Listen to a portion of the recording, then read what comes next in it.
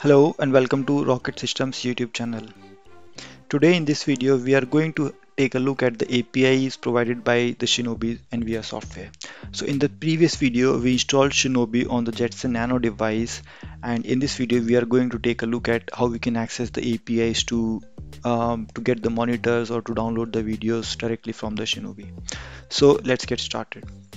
Now, as I already mentioned in the previous video that using the browser on the Jetson device can consume a lot of power. So I'm not going to use the browser uh, from my Jetson device. So I have opened, I have connected uh, my Windows PC in the same network as my Jetson device and I'm now going to do all the operations from the browser for my Windows PC instead of the Jetson device. Now this is the link for the, the API documentation for the Shinobi. There are lots of features available but before that I mean in order to access any of the APIs of the Shinobi we need the authentication. So we need to get the API key and the group key in order to access any of the API for the Shinobi. Now let's see how we can get the APIs key. So let's first open up uh, open up the brow open up the new tab and uh, start our Shinobi. So and here I will log into my Shinobi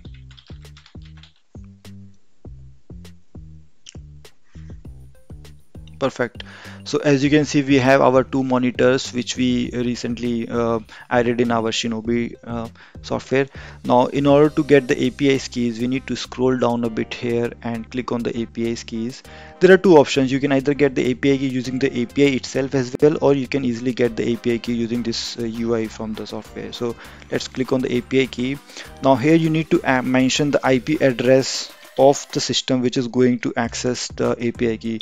So you can mention the IP address of the Jetson device if you're going to access the API key from the Jetson or you can mention the API key for that particular device for which you want to give the permission. So I'm currently using the Windows PC so this is the uh, IP address of my Windows PC now after that these these are all the permissions which you will you can gain gain uh, give to that particular device. So I'm going to give full permissions here and then I'll click on add new now this is the API key which now I'm going to use in all my uh, uh, uh operations related to the APIs now other than this another API another key which we need is a group key. So for the group key click on the account settings and then from here you will see this is your group key.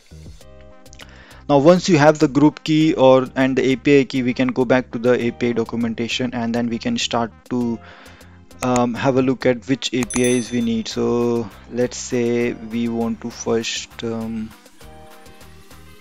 which API we should try first? Um, let's try to get the monitors first. So let's click on this and uh, this is the URL you can access. So this URL will give us the list of all the saved monitors which we have. So we have two monitors. So let's see if this URL gives us what response. So I'll copy this I will open a notepad and then paste it here. Now I'm going to first enter the IP address here which I have. So this IP address will be the IP address where your Shinobi is hosted. In my case it's on the Jetson device. Now here you need to mention the API key. So let me just quickly copy my API key from here. Uh, where is the API keys? And let's copy this and then we have monitor and then we have to mention the group key. So let's also copy the group key which is present in account settings. Perfect. Now if I copy this and paste it in my browser this should probably give me okay for some reason it seems not to be working okay maybe we need to mention no. I think I forgot to mention the port number so let's also mention the port number. Yeah so we forgot the port number. So now you can see that it has given us a list of the monitors. This format is a bit confusing but I believe this is the details of our first monitor and then this is the details of our second monitors because we can see the ID here it's showing as camera record. So we have uh, created one uh, monitor to record the videos from the camera and then we have created another monitor to watch the videos from the camera. So that's why it's just showing us two videos here sorry two monitors here which is fine which is what we wanted but let's go back to the API documentation and try to see if we can get uh, okay so you can also get a details of a single monitor as well by its monitor ID so let's copy this.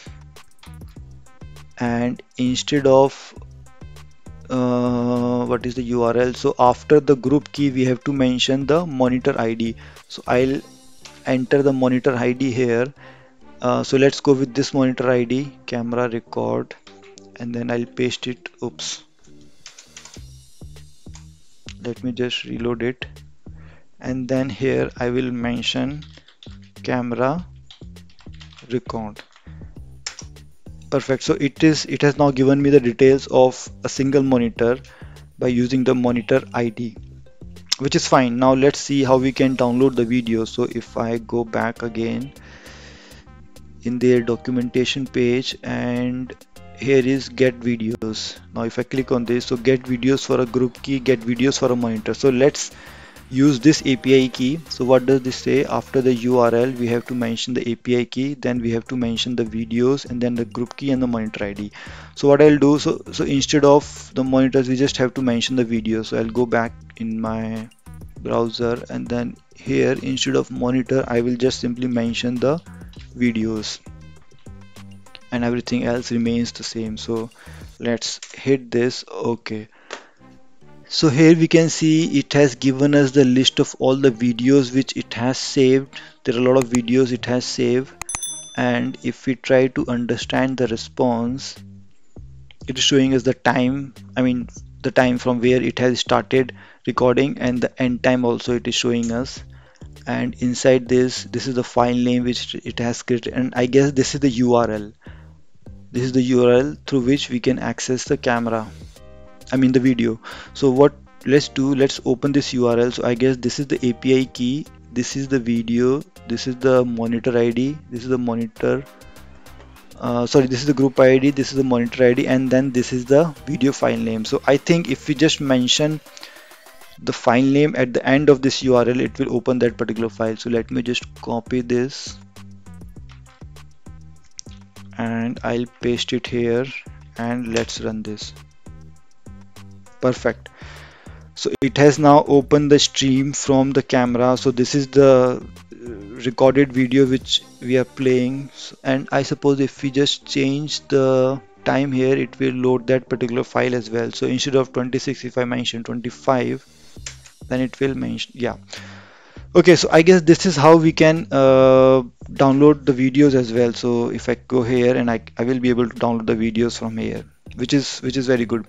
So you might notice that the time here is a bit different from the time which it is showing. That's probably because my Jetson is running in some different time. I've not set the time properly and the camera is running in some different time.